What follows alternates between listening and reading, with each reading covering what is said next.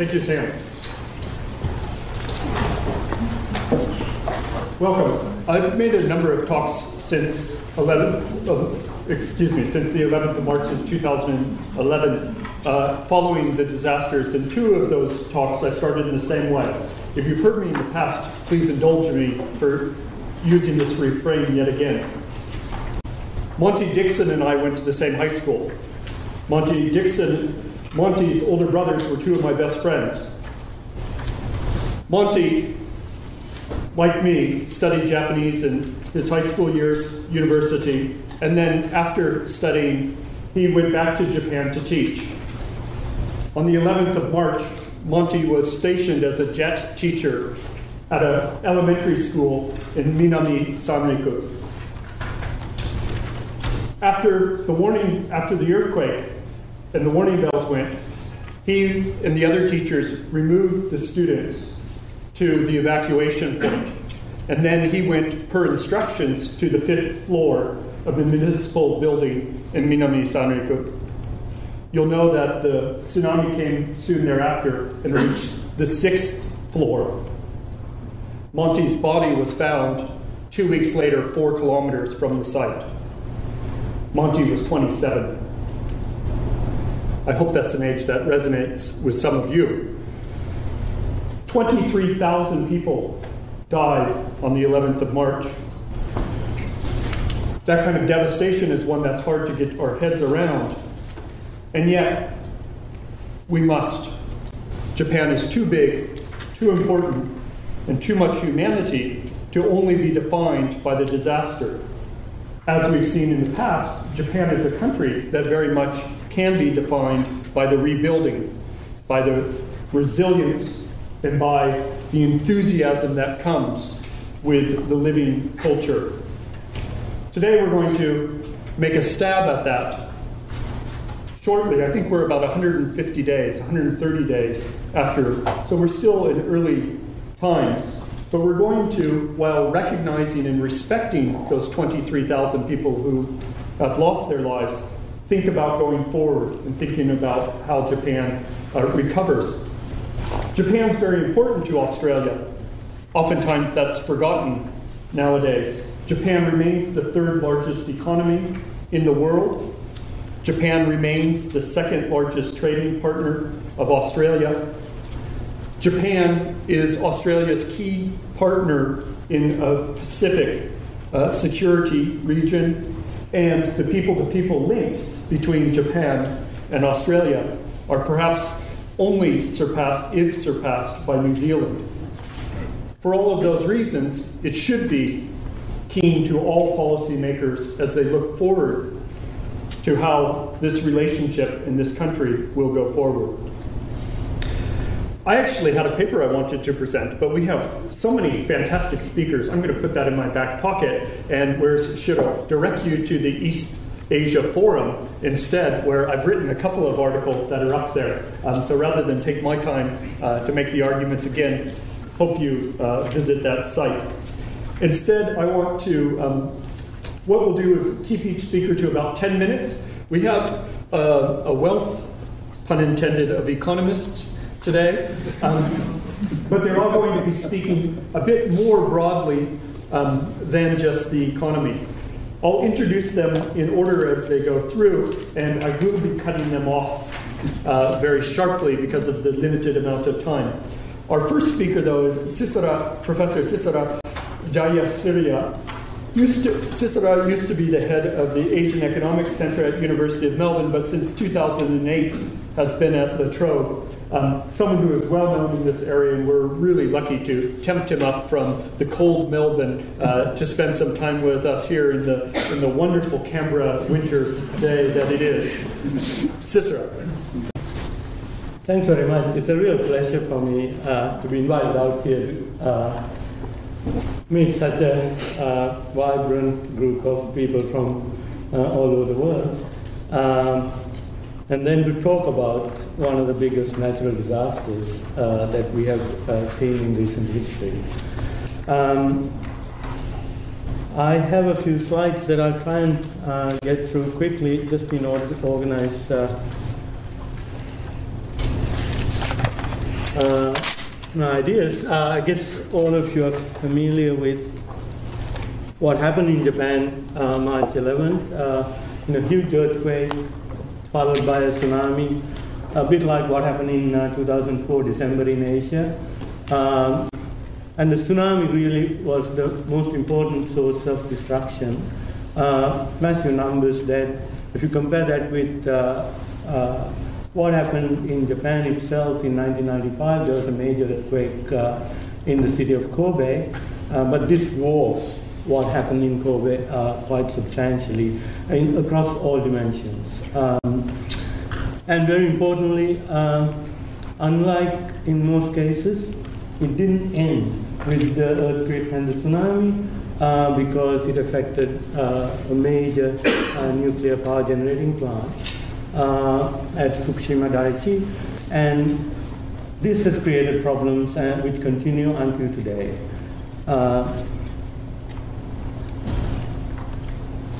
Now, I don't want to, you know, I'm an economist, but I will stick to the economics, but I, uh, one thing I want to stress here is the human cost, the human tragedy of this. You can't quantify, you can't put numbers on that. Uh, also, uh, the strength and resilience shown by the Japanese community uh, in the face of this disaster, both those, pe- those people who are directly affected and in the neighborhoods, it's amazing again. If you compare the scenes of, uh, of what happened in Katrina during the US uh, uh, uh, disaster some years ago, uh, when there was rioting, looting, shootings, and then you compare how the Japanese people stayed in queues all the time patiently to get their little rations of water and, and, uh, and food, you see a complete contrast. Amazing uh, sense of community, uh, community strength, resilience, uh, a sense of uh, social responsibility. And that's the social capital uh, of Japan that uh, it will be using, hopefully, to build on. Now, massive, uh, the magnitude of this disaster in economic terms is really massive. I wouldn't, uh, because of the time constraint, don't want to uh, dwell on it. But this is, if you just look at what happened directly in the affected areas, is much bigger than what happened in Kobe in 1995. Um, but if you take the total cost, uh, that is the effect in the directly affected areas plus the impact on the other areas because of the economic linkages uh, between this region and other regions, then the, the total cost, uh, there are different estimates of it, uh, but could be as much as 6% of GDP. Uh, very large uh, economic cost. and this is one of the natural disasters which has had a real global uh, impact because it is the third largest economy in the world. Uh, it plays a major role in world currency markets, stock markets, all of this, and in international trade. So, across many dimensions, uh, there was a global impact. Uh, even though, in terms of human uh, deaths and so on, the 2004 Asian tsunami was considerably bigger, uh, the economic impact on the global scene was much bigger in the case of uh, what happened in, uh, in March uh, in, in Japan. You know, some of my colleagues on the panel will be speaking more directly on, on with more detail on some of these aspects, including the impact on international trade. Uh, but I just want to uh, say this is, you know, just to keep a big picture perspective, it's a huge uh, impact both in Japan itself and globally. Um, you know, in Japan, the response was very quick. Um, you know, people actually, uh, in Japan itself, if you go there now, a lot of people criticize what the government has done or hasn't done and so on. But the reality is, compared to other natural disasters, the, the, the response in Japan was amazingly good. Um, most uh, critical infrastructure was uh, brought back into uh, operation very soon after, uh, including the, the bullet trains, uh, the basic road network, uh, etc. But huge numbers of people had to be evacuated, and that is because of the radiation issue. and what is happening now, because I might not get enough time to get to the end of my presentation, what is happening now is that there's a lot of debates about how to finance reconstruction, how to move ahead uh, with issues such as nuclear energy, and uh, you know what's the forward, uh, what, what's the way forward for the Japanese uh, community. And there are big debates uh, happening in Japan at the moment, um, and to some extent there's a degree of uh, policy deadlock and, and even paralysis at some levels, which is part of the tragedy, I guess. Um, just to get one thing clear, there's a misconception spread uh, partly through the through uh, all kinds of commentators in the in the media and so on that uh, you know Japan is a very highly indebted country uh, and that it has huge problems financing uh, the reconstruction necessary. That's a myth. Japan is not an indebted country. There's a, Japan has a government which is in debt to its own citizens. It has borrowed from its own citizens. But it is not a poor country. It's one of the most affluent countries in the world. And even after 20 years of almost zero economic growth, uh, it is a country with huge national savings. Uh, government has a debt. The government has borrowed from its own people. But as a country, no. It's, it's a net saver country. Uh, it has one of the largest, it's the second largest uh, uh, stock of uh, international savings, uh, second only to China. On a per capita basis, much bigger. Uh, Japanese government debt is very high, that's true, but if you look at net debt as opposed to gross debt, gross debt is what most people focus on. Again, it's large, but not absolutely massive. But what has happened is, uh, so the, the, there's no real problem finding the money to finance reconstruction. Uh, it is the debates about you know what are the mechanisms through which it should be financed, uh, how should they uh, undertake reconstruction, should people go back to the areas, should uh, nuclear power uh, be restored? Uh, what's the way to go? And th- what is dominating uh, debate at the moment is the whole issue of nuclear power. Japan is highly dependent on nuclear power, um, around 30% uh, of all uh, electricity generated comes from nuclear. Um, and until last year, until this disaster, Japan was really looking forward to going even more nuclear. This is the strategic uh, energy plan of Japan. Right. Um, you know, they were planning to get to 50% nuclear by 2030. Um, and now we have got a huge crisis. Uh, we find that uh, safety measures were inadequate. Uh, there have been corrupt practices, attempts at cover up, regulatory failure and the government and, and, and the nuclear power industry have been very cozy, and this, is, this has really created uh, a, a, lot of uh, issues. Um, one minute. Uh, so, at the moment, the nuclear power issue dominates. The government itself is weak uh, uh, politically. It doesn't. it's it's a coalition which is split, and, and the, the, the, majority party in power itself is split uh, into different factions. Uh, public confidence in politicians has become very low, partly because of the nuclear thing, but it has been growing for a while for other reasons as well. And there are issues about government spending. Government needs to spend, but there have been huge amount of wasteful spending in the past, uh, including this term bridges to nowhere. They were building bridges to go nowhere. Uh, so once, one. uh, so long-term recovery in Japan, 20 years of economic stagnation, uh, so-called two lost decades. Uh, and what is really important in Japan is to get people to spend. Uh, but what the nuclear, what the, this disaster has done is it has shaken confidence further. Consumer uh, confidence is down. So spending is down, and people are worried about government spending, that this might also be wasteful and might not get, get you anywhere. So what is happening is that we are getting uh, to a situation where, well beyond the, uh, the actual disaster and reconstruction, the broader issue of Japanese economic recovery uh, may be delayed even further. Thank you. Thank you, Chair.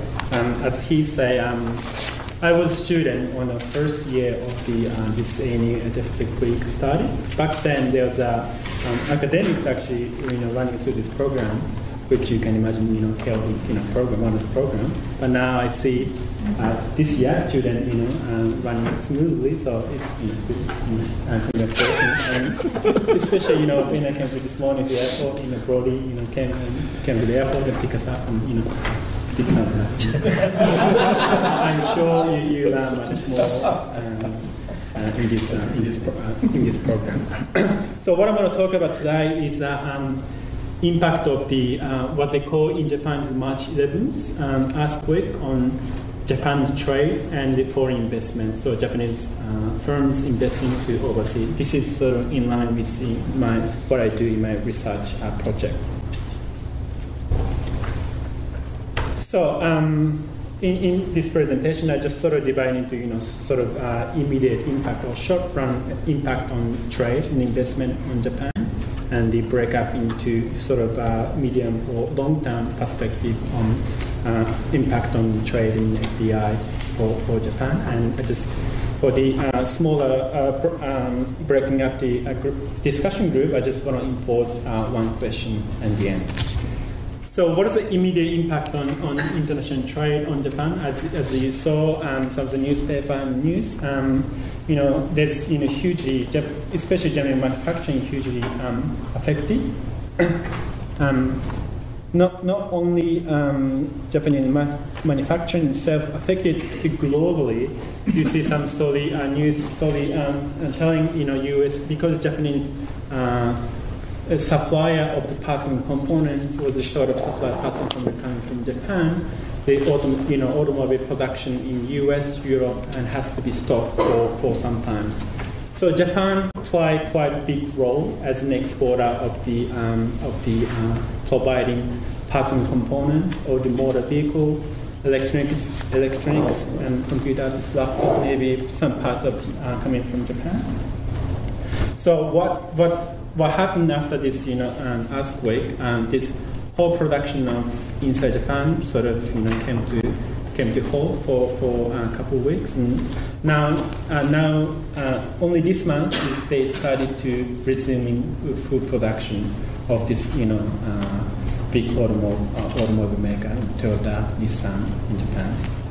So it has it has huge impact on you know global uh, manufacturing. Um, uh, disruption because of shortage of supplying uh, parts and key parts and components from Japan.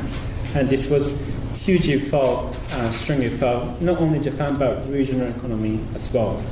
And the, you know, you, you come to the question why this is, you know, uh, such huge impact on regional production process. That's because uh, nowadays, um, you know, you don't see any, especially motor car, electronics production it doesn't it doesn't happen from you know start to start to end. It doesn't happen within one country, but it's sort of whole production process spread around in, in, a, in, a, in, a, in different country within the region. I give I give one example. Do you know a company called Boeing? yes. Do you know where it's from? US. US. And do you know what they produce? What they manufacture? Huh? airplane, yeah. And would you call that, you know, Boeing's airplane, it's made in US? No? What, what do you call it? Where is it made from? What is it manufactured? Huh? Japan?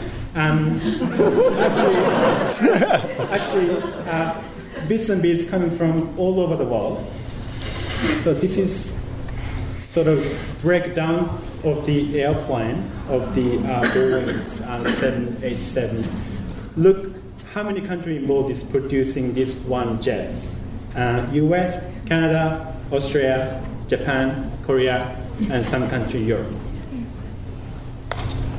Um, so what we call, what we economists call uh, the value added. Most of value added production coming from out of the US. They, they do assembling in, in Boeing in US, but several com- companies, several countries getting involved. Okay, so you see um, modern globalization while uh, manufacturing production, it does it just doesn't happen in one country, but just spread around, you know, many different countries. And the Japan quite uh, play quite significant role.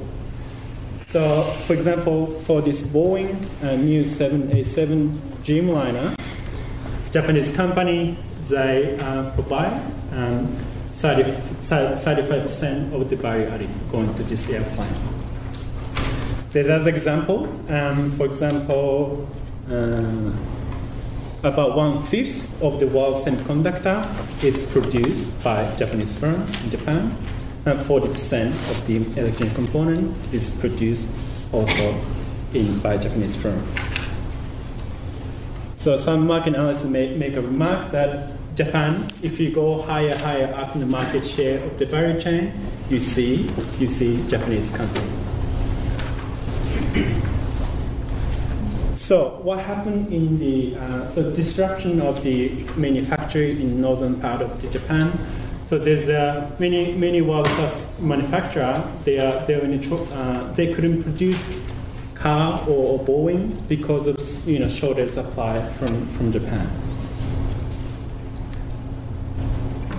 So that was that was imposing some some problem for us, and the what we can what we so as taken as an issue, what we can discuss about the future. So what is gonna what is the impact on the uh, medium term, long term business strategy for Japan and for Japanese company? So as you might heard, um, Japanese firm, especially Toyota, inventing this. Uh, this what is called uh, just-in-time logistics. So this, you know, production process, you know, regional production from from uh, parts and produced in Japan go to Malaysia, China, and bits and pieces, you know, get together, go to U.S. Final goods assembled as in ship exported from China to to U.S. And they have, you know, quite cleverly, um, and you know, configured and and uh, to reduce, um, you know, extra uh, inventory. But just-in-time logistics has a problem itself, and it's quite sensitive to you know um, unexpected supply shock. So that now the discussion now is whether a Japanese firm or Japanese company is going to uh, be considering this just-in-time logistics. And the much more you know lingering question is the location Japanese uh, uh, company from uh, northern part well, actually, some, some happen from northern part to south of Japan, but there's a uh, power problem happening in Japan. And the few firms, um, so this is, a, this is a question I want to ask to the audience. With disruption of the production process, you know, what's happening with, with encouraging more Japanese farming to go into out of, you know, move away from out of Japan. Um, that's a question I want to ask. And the uh, so I'm quite optimistic um, about this. You know, falling out of you know, there's a you know, quite debate, debated discussion in 1990, but they might come back again. And there's um, some you know. Um, some people say, um, you know, confidence in Japan as a reliable, uh, reliable supply of key, key parts and components has had quite quite shaken and you know, unrelated to unrelated to this uh, uh, disruption on week, you know, Japanese farm already going overseas. But I'm quite optimistic about this uh, move away from you know move away from Japan, and we can discuss in the discussion. Um, I have a longer paper, and if anybody is interested, you can find it on the site that's on the screen now, um, Asia Rights. Um, I'm going to reduce it enormously in order to get into this 10 minutes.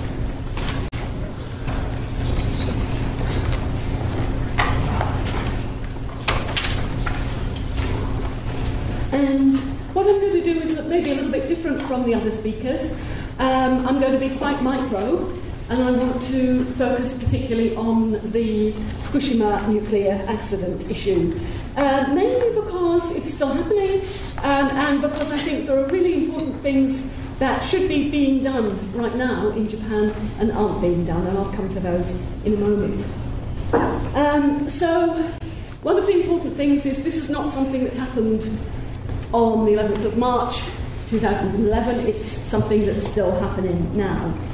Um, according to the relatively optimistic scenario put forward by the Fukushima nuclear plant operators, TEPCO, uh, essentially the accident will go on happening until January next year.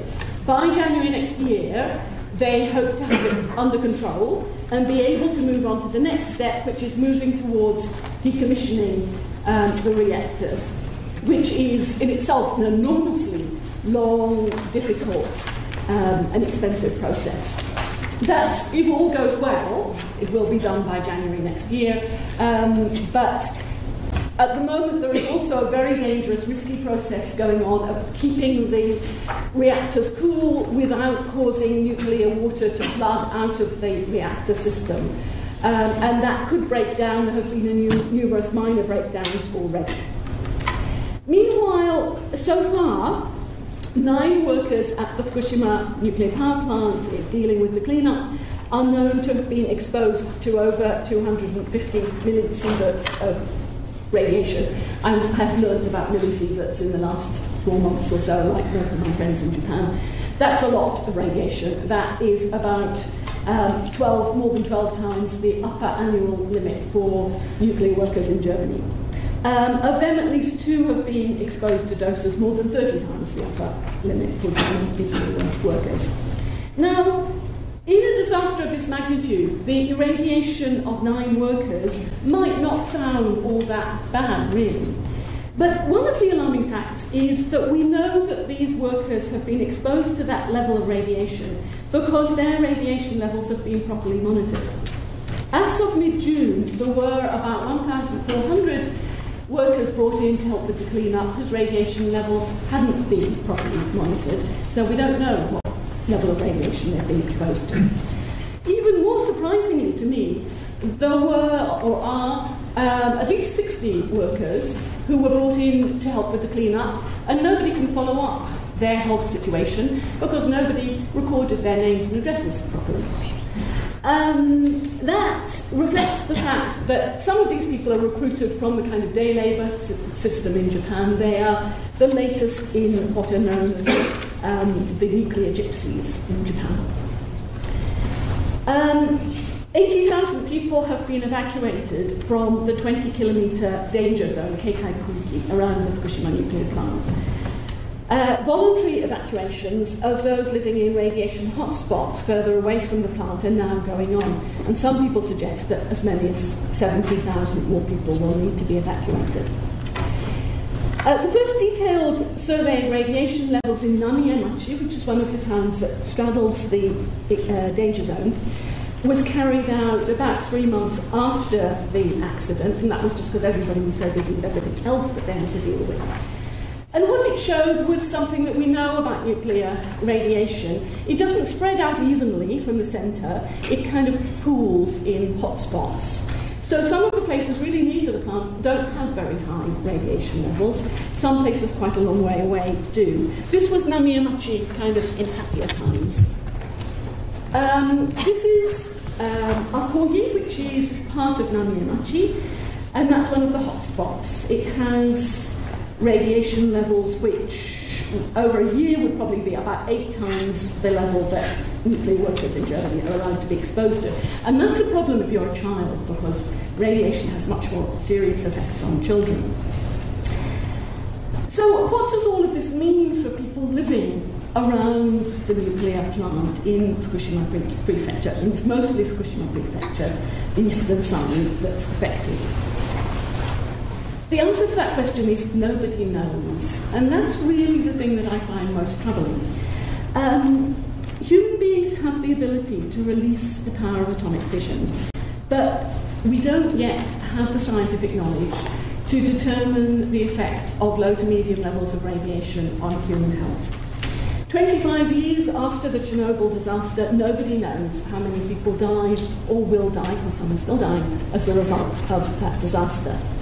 Plausible estimates range from a low of about 9,000 people to a high of about 90,000. You'll find estimates outside on both sides of the scale, but that's fairly, you know, those are, that's a range that a lot of scientists are in. Um, now, of course, the amount of radiation released from the Fukushima plant is a lot less than Chernobyl. It's about 14%, 14%.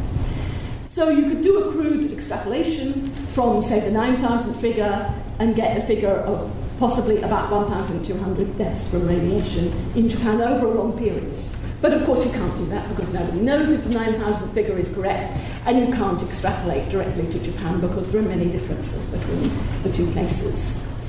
Um, of course, what we do know is that many people uh, in Chernobyl suffered greatly from the process of evacuation, the social effects of the disaster, particularly older people. And that is going to be true in Fukushima.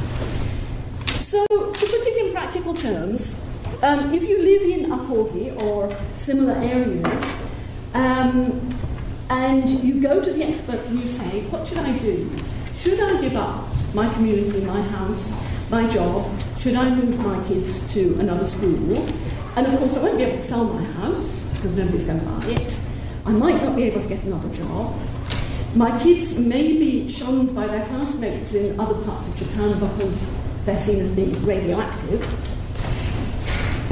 If you ask the experts, the answer is search us. We have no idea what this is going to do to your health. You've got to make the decision. Basically, that's the answer you get. Um, there are, of course, a whole lot of other issues. There's the issue of uh, radioactivity, particularly radioactive cesium, entering the food chain, and that is affecting areas of Japan further away. There's also radioactive cesium, which has a half life of 30 years, entering the sewage systems over northeastern Japan. Um, and that's kind of on top of the radiation that people absorb from the air around them. Now, the levels of radiation in places like Tokyo and so on are not actually much above background radiation at the moment. Um, but the food issue is significant, possibly, um, and certainly in eastern Fukushima, the radiation levels are possibly quite significant.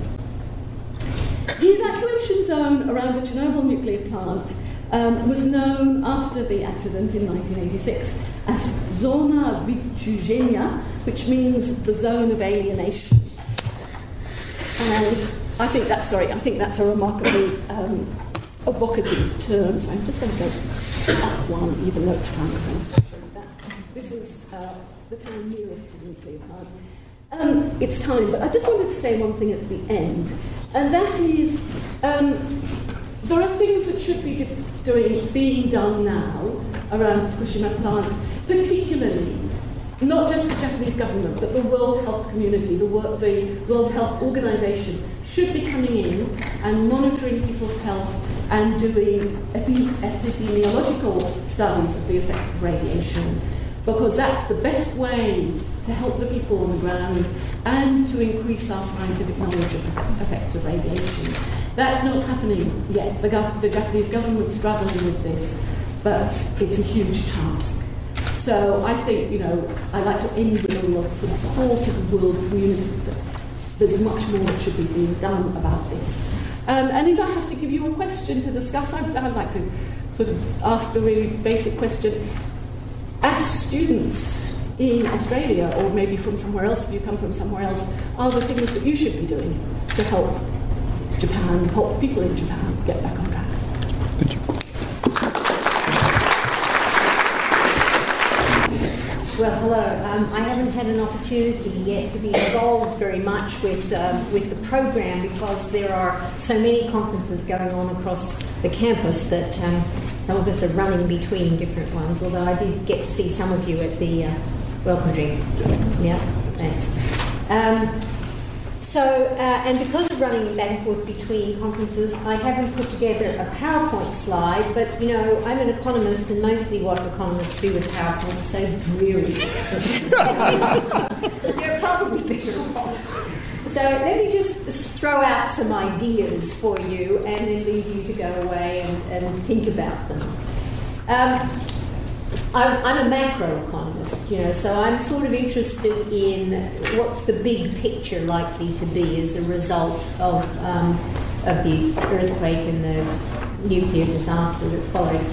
When we had panels on this um, in March, just after the events, I think most macroeconomists were um, sanguine, let's say, not optimistic, but at least we're saying, look, the scale of this event is not, in macroeconomic terms, and I'm not now talking about the, the um, humanitarian issues, which are very severe, but in macro terms, it doesn't look like such a big shock that it's going to set uh, Japan back a great deal. Um, I think that the consensus view has evolved slightly since then, since March. Things are in some ways more optimistic and in some ways more pessimistic. So, um, the more optimistic side is that production has actually come back on stream more rapidly than people expected in March.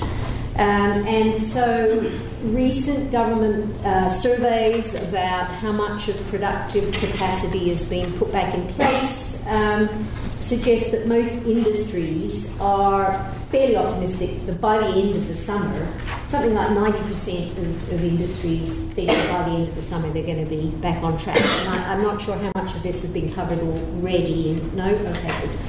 I um, apologise for coming in a bit late. So, um, what, what has been remarkable is that the rebuilding of just of productive capacity or the relocation of it in a way that restored functioning to, uh, to production has been carried out more rapidly than, than people had feared. There is, there is about a 10%, um, 10% of the manufacturing and service sectors, mostly manufacturing, that were affected are still thinking that it will take them possibly a year to get back to speed, but it's a, that's a small share. Um, now, what that means is that the estimates for where Japan's growth will be have improved for the year 2011. So most people thought that there'd probably be a bit of a negative effect on growth in 2011. Most estimates have now gone higher than they were in April. So um, most of the estimates are now in the range of, say this, this some of these figures come from a government presentation that uh, I listened to a couple of weeks ago in Tokyo. And for those of you who want to see the slides, they're available on a conference website uh, that I can refer you to. So, estimates for growth forecasts for the present fiscal year, 2011, are now around about 1.6% per year. So, the Bank of Japan, the OECD, the IMF, have all increased their, their uh, forecasts of growth rate. And indeed, that's been borne out by real performance in the most recent quarter. But they have also downgraded their forecasts for next year. So there are some dampening factors that are going to kick in, and by next year, probably growth will be maybe between one and a half and two percent, probably lower than two. Um, so now, what does that mean overall? Well, it partly means that Japan is um, it's obviously doing better than it was just after the global financial crisis, when growth fell was in negative territory. But it does mean that Japan is still in that rather low growth scenario that it has been struggling with on and off for 20 years. And while there are always short term factors that help explain that, what's really critical is what's happening to the underlying productivity growth of the Japanese economy. Because the longer you're growing more slowly than the potential of your economy, the more likely it is that you're undermining and sort of wasting the capacity that your economy has to generate growth. So you actually lose productive capacity the longer you're away from potential. And that comes because new capital investment doesn't take place. and it comes because people are unemployed, they lose skills, and so on. So there's a slight danger that every time there's one of these shocks that keeps Japan at, one and a half percent growth instead of two and a half or three, that that prolongs the period before you get back to productive potential. There are two other things that I throw out as being worth thinking about for the economy. One is what's going to happen to energy. I mean, obviously, the big question now is uh, what's the future of the nuclear industry in Japan and what are the alternatives? So, um, the future for the nuclear industry in Japan, I think, now looks considerably more uh, doubtful than it did even immediately after the the events. Immediately after, everybody was, you know, full of we've got to get on and, and be energetic and optimistic and do things. Now, what we've seen, of course, is that as plants have been closed down in order to check their safety, local communities are fighting very strongly against opening them up again. Now, since 30% of Japan's energy comes from the nuclear sector, that's a very big chunk of your power generation that you have to find from somewhere else. Well, what are the alternatives for Japan? alternative energy, green energy, that kind of, um, you know, solar, hydro, all of those things, have pretty much been pushed to their currently feasible limits already. Japan has done quite a lot. Okay, so there's not a lot of, of action that can come from that. Those who are advising the government on this in Japan are saying Realistically, this means Japan is going to switch more heavily into fossil fuels as a source of energy. There will be a greater reliance on coal and oil as a source of energy. And that comes with a bunch of problems. It's, uh, it's adding to global pressure on prices. This is a period when prices of these uh, fuels is rising. And it's obviously uh, has implications for climate and environment. So, one thing that we have to ask ourselves I mean, this may be temporarily good news for Australia, we buy some of these things from Australia. But, you know, there will be an issue about uh, Japan facing things like carbon tax. Will that become a debate in Japan? So, I'd suggest to you that you start thinking about uh, what are the alternative energy futures for Japan and what do they mean?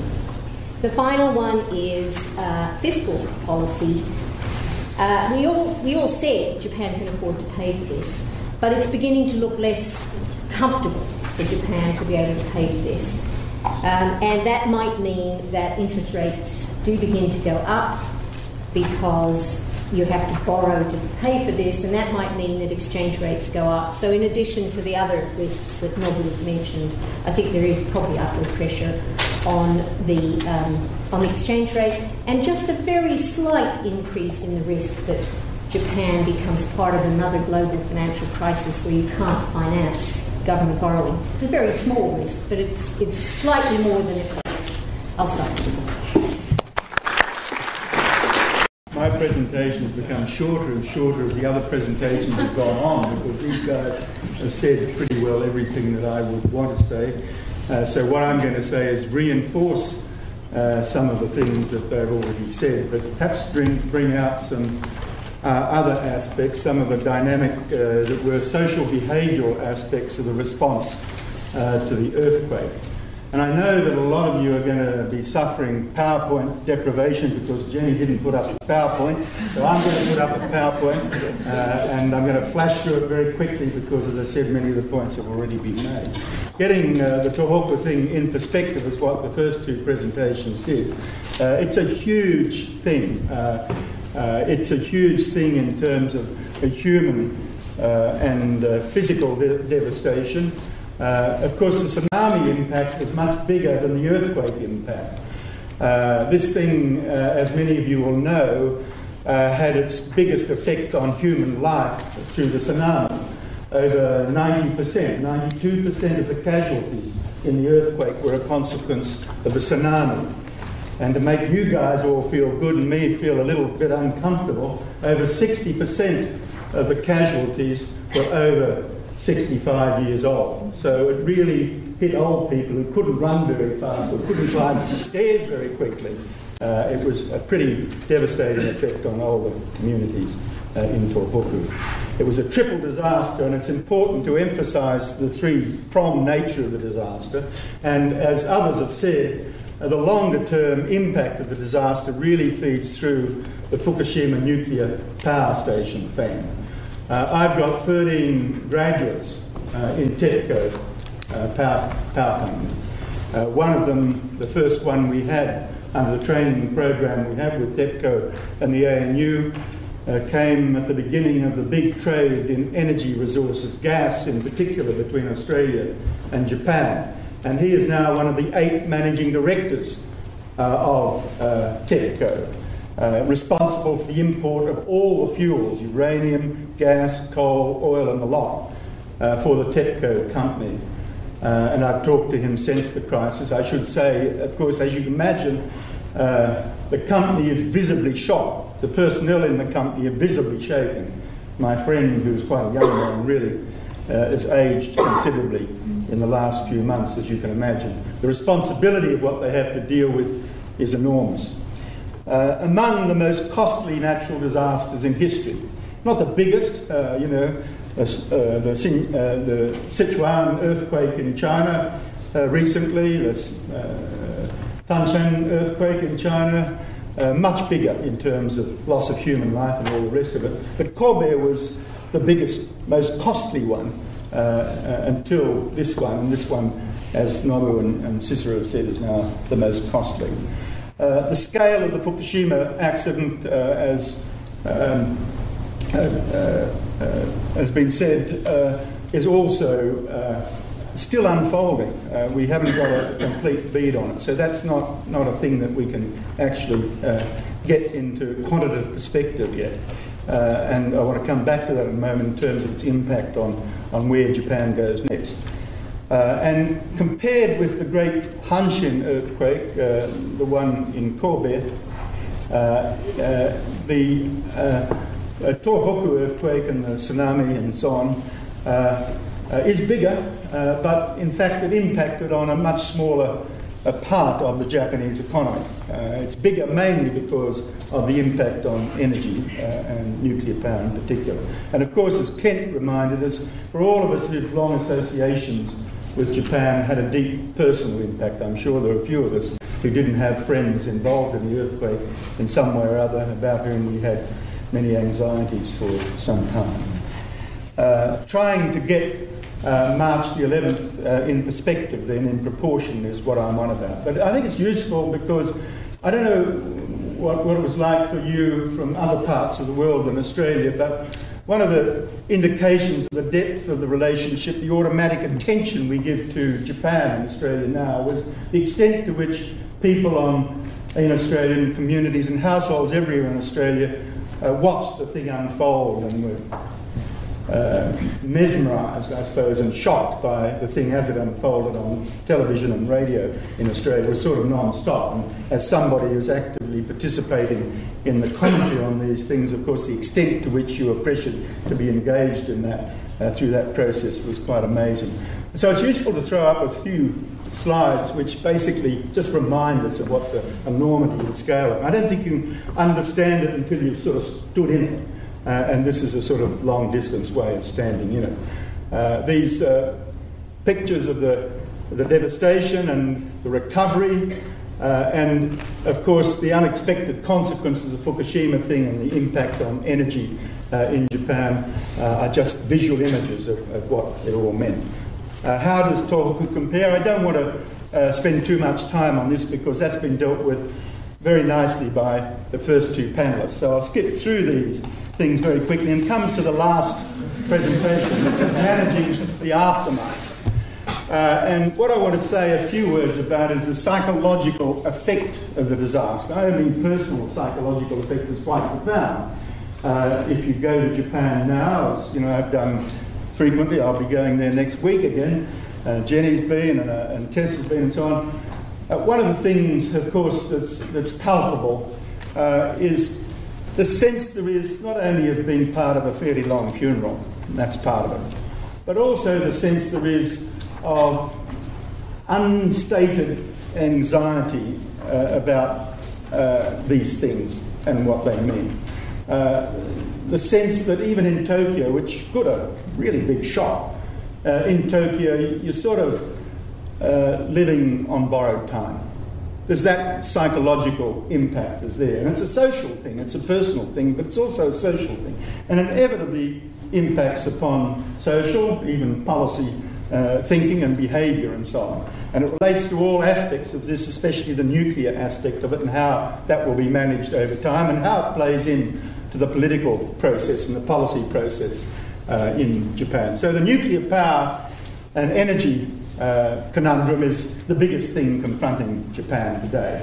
Uh, and it's now feeding in directly to the political process, not just the management of the whole disaster, and especially the TEPCO Fukushima disaster, but now how Japanese politics is going to be played out. We've got political leaders standing up. Maehara, the day before yesterday, stood up essentially and said we've got to contemplate a non nuclear future for Japan. Uh, and uh, uh, we know that the polls suggest uh, that there are uh, more than a majority of uh, the electorate that believe in transition to a non nuclear future. And this is a huge thing if it ever is going to be affected, certainly if it's going to be affected reasonably quickly. my friends in TEPCO tell you very quickly you can get gas fired power capacity and coal fired power capacity up quickly to deal with the immediate impacts of the crisis because those things run at about 50% of capacity all the time. So you can fire them up to generate more electricity to cover the immediate gap from nuclear and so on. But actually, getting much further than that, uh, in terms of putting in place the capacity to bring in natural gas and so on, they're at limit now. So you have to bring a big tanker full of natural gas into Tokyo every day if you fire the whole place up with natural gas to capacity.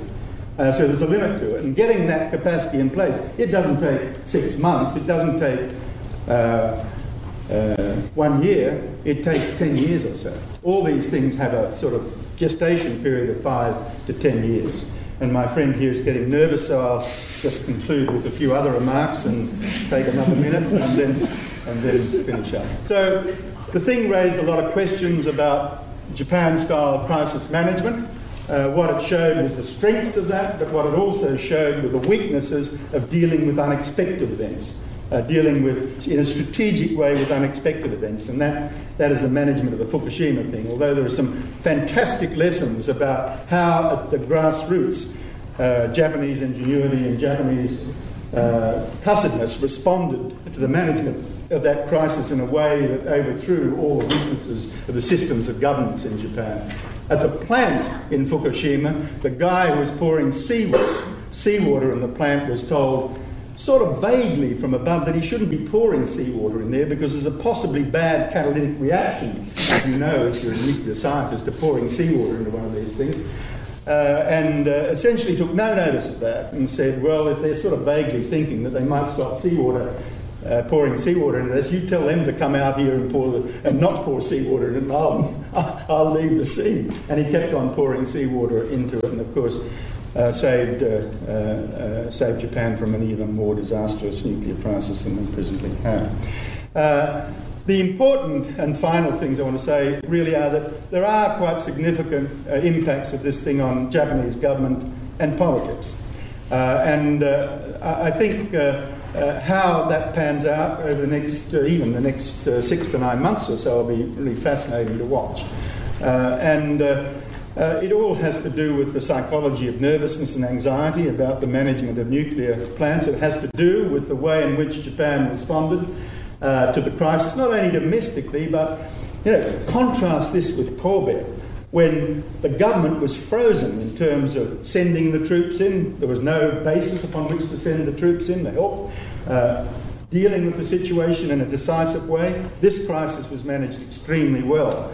Uh, but also uh, in terms of, of uh, you know, how to deal with the Fukushima thing and, and how uh, to respond uh, to the relationship between the government and the private company uh, and the bureaucracy in dealing with that.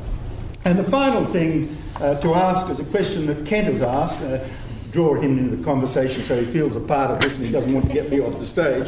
Uh, is whether or not this whole thing means some sort of decisive watershed in Japanese affairs. Uh, one sense, well, it's got to mean something in terms of the way in which Japan managed itself down the track, and it does. But another sense, I think I, I share Kent's view that really reinforces some of the traditional sort of values, institutions, and strengths of Japanese society, of which Japan can be extremely proud, which which stood Japan in extremely good st- sense as it was faced with this crisis.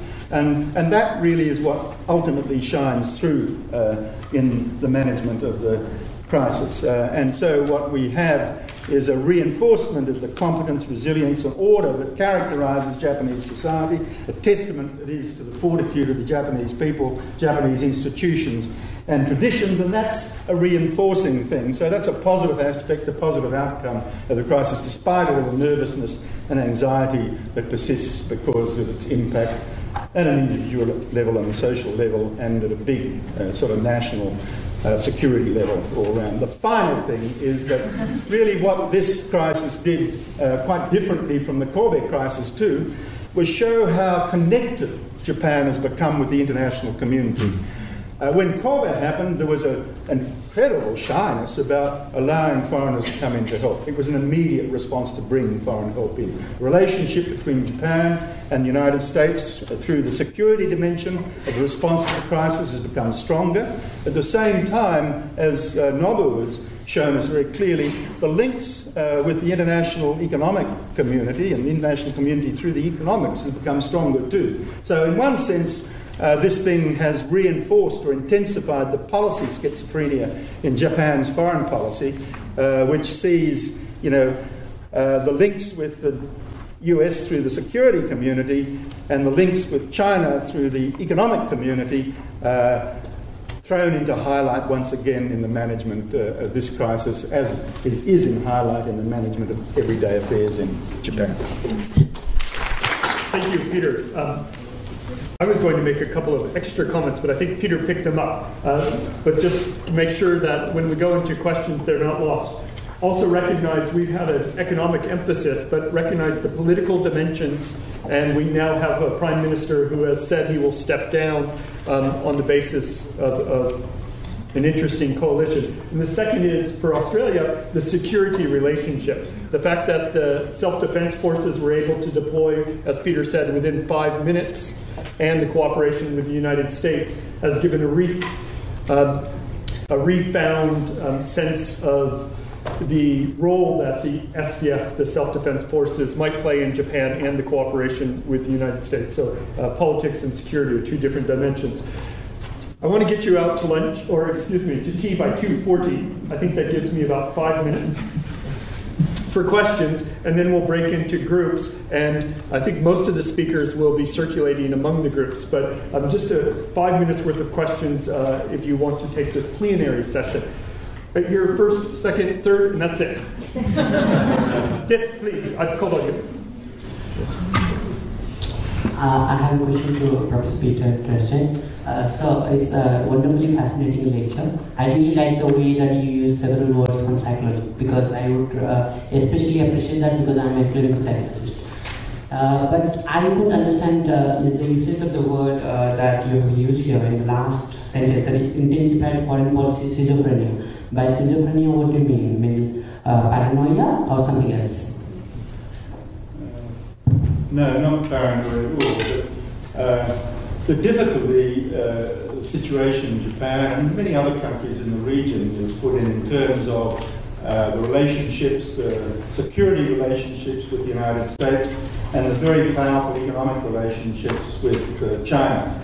And marrying those two things together is difficult uh, because uh, China is a security challenge, potentially, for Japan. At the same time, uh, without the deep interconnections economically with China, uh, the Japanese economy wouldn't be the strong economy, even though it's got a few weaknesses in terms of growth performance, wouldn't be the strong and internationally competitive economy that it is today. Over 40% of the output of Japanese manufacturing firms is produced in Asia, most of it in China. And that's what makes them, of course, so internationally competitive. This hollowing out process that Nobu mentioned is key to that. Uh, the, the, uh, uh, putting capacity offshore so it goes to competitive locations, drawing in supplies and components, reprocessing and so on, assembling elsewhere. That's the strength of the Japanese production system internationalized. And of course, it's deeply linked in with China and Asia. So uh, you can't have a friend only of the United States for security purposes, or a friend only of China for economic purposes. Uh, the two things are there. How you manage that politically uh, is what I call a sort of schizophrenic problem. Okay, so we're going to do the last two speakers. I'm going to ask you not to put all the preparatory, thank you very much, that was the best thing I've ever heard. and I'm going to ask the respondents to keep it really short and sharp. So there was one here in the middle.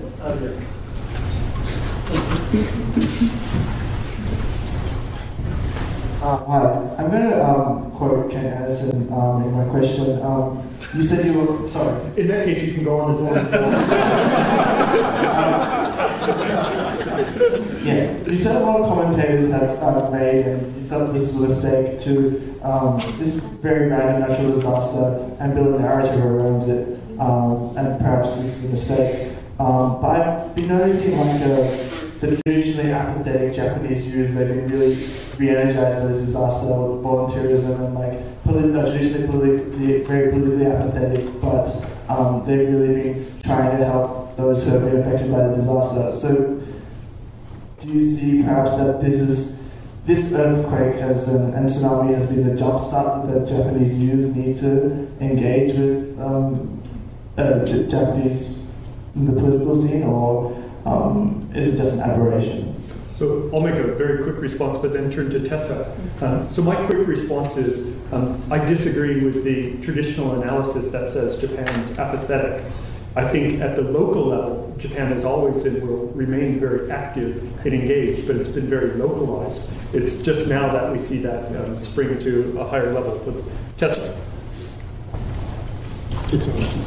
Uh, yeah, just very briefly. Um, similar to Kent, I mean, I think that what's come out of the disaster has been some amazing activity at the local level. Local communities responding absolutely remarkably, and often young people, as you say, being energized. I think there's a huge disjunction between that and national politics. And at the same time that that's happening, there's been intense and increasing disillusionment about national politics. And the really interesting thing to see is going to be how that divide plays out, this energy, energy at the local level, but the disillusionment about the national political system. Last question.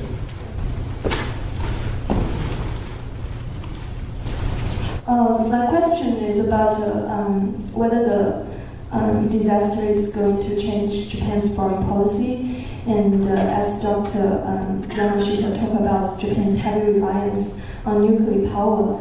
However, the public's confidence in the safety of nuclear energy is seriously shaken, and uh, um, and also Professor um, Jenny Corbett mentioned that uh, Japan will have to turn to oil and uh, coal as a substitute. Um, but uh, um, I'm wondering whether this will make Japan to adopt a more aggressive foreign policy so as to compete for more strategic interests in the world. Uh, Professor Yamashita? Yeah. So um, I'm just um, answering kind of part of your question. Um, so we, uh, I'm also, I was in Japan, you know, um, I know how people, you know, normal people feel like nuclear, you know, apart from everything. Uh, so we, we are sort of uh, have a belief that, you know, this uh, nuclear, you know, energy thing is quite safe, you know, so this, this what, what happened to region is an extraordinary event. You know, nobody could, you know, had, had you know, imagine, you know, how, how the effect of the tsunami devastating plant. But you know, if you go back in the history of the Japanese energy policy, so Japan as a country doesn't have any you know, natural resources, you know, in, unlike in Australia. So we always you know, have to depend on the foreign country to, to provide us the energy. And we sort of didn't like, you know, if you, if you look at trade statistics, you know, like 60%, uh, you know, huge amount of the uh, oil come from, from overseas. And, you know, the oil shock happened, you know, 1970. And the Japanese government, also people like to have, you know, self-reliance on this, you know, uh, uh, power, power program. That's why this, you know, uh, grant scheme on this nuclear power uh, station uh, came into. Um, but we, we always have a belief that this is you know very very safe you know uh, way of you know generating energy. And now what happened after you know March 11th, um, people, also government, is convinced that now we have to move away from nuclear uh, energy. And you know I was in Japan two weeks two weeks ago, and they you know commented discussing about how about we have you know nuclear energy you know underground you know, that's, that's uh, the, you know, then we can, avoid the tsunami problem. And obviously government trying to do uh, renewable, you know, energy, that's something Jenny has mentioned. So for, for, for me, I think, you know, next 10, 10 to 20 years, we still have to rely on these nuclear power things, but um, eventually, you know, uh, my kids or my grandkids, you know, children's generation, you can see more, you know, renewable energy um, that, that end. So unfortunately, I'm going to call it there. Please join me in thanking the, the speakers.